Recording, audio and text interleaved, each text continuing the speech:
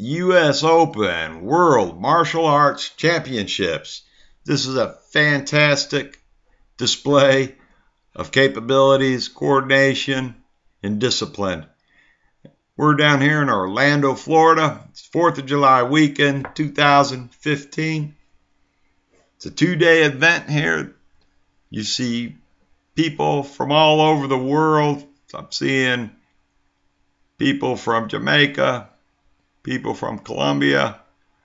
Everybody's coming down. We're in Florida. I'm seeing a lot of groups from California. This is one great event. You're going to see everything having to do with mixed martial arts. You're going to see every discipline karate, jiu jitsu, taekwondo, wrestling, boxing. They're all here. They're all competing. Here's the defensive weapon forms.